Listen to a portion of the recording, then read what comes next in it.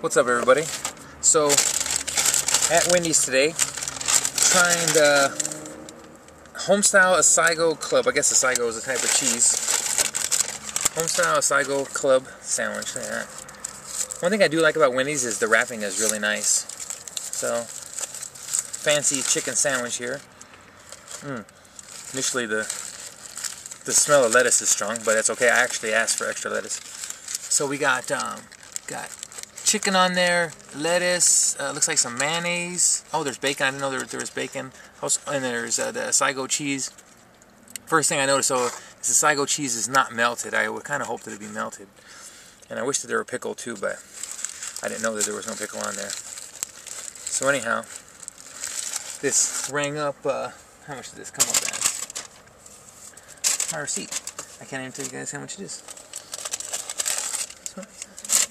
What? Okay, I think it was 5.49. I can't find my receipt, but I think it was 5.49 before tax. So hefty price for this sandwich. It's uh, pretty heavy too. Before I take a bite, I don't know, maybe a half a pound, maybe 10 ounces. Okay, enough talking. Let's see how this is. Hmm. I don't know if I said. Hmm. Can't remember if I told you guys if it's uh, mayonnaise or ranch, but I think it's a ranch. Mm. Initial thoughts is not a whole lot of flavor.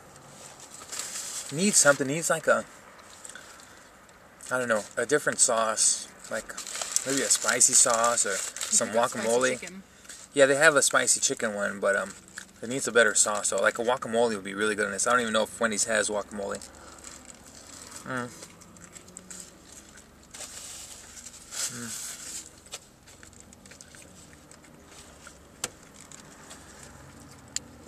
One thing I will say is the chicken is like pretty good quality. It's like really good quality.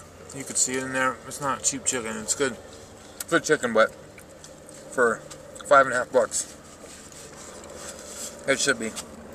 Anyhow, um, I don't know. Out of ten, I'd be nice and give this a seven. I want to give it a six. It's not that great. I won't buy it again. So I won't buy it again. I'm really disappointed that the cheese is not melted. Look, I'll even pull it off for you guys. Look, it's just like a whole piece of cheese. It's not melted at all. You know, cheese isn't even anything exciting either. So yeah, I want to say six, but I'm gonna be nice and give it a seven. But uh, yeah, I won't, I won't recommend this. This is a do not buy item. Have a good day.